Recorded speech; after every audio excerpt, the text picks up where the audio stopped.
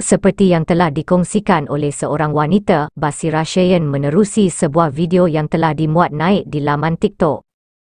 Pergi mengunjungi sebuah kenduri yang diadakan bersama kawan-kawannya, mereka menjamu makanan yang telah dihidangkan pihak tuan majlis.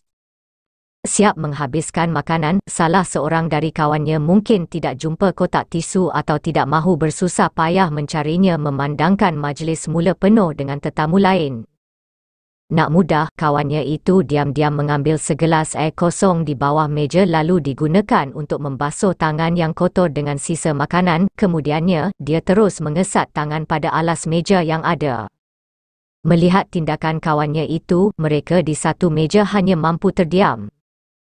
Di ruangan komen pula, orang ramai turut terhibur melihat gelagat kawannya itu di majlis tersebut. Ada juga yang turut satu kepala dan juga berbuat begitu.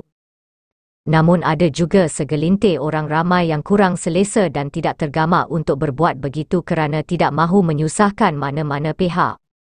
Agaknya ramai juga yang satu perangai seperti kawan wanita ini, tapi jangan dijadikan satu tabiat, kesian pula pada tuan majlis dan pihak catering yang perlu membersihkan kotoran pada kain alas meja tersebut.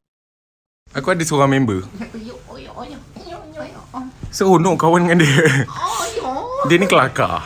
Dia bodoh. Tapi aku harap keturunan dia sampai dia je.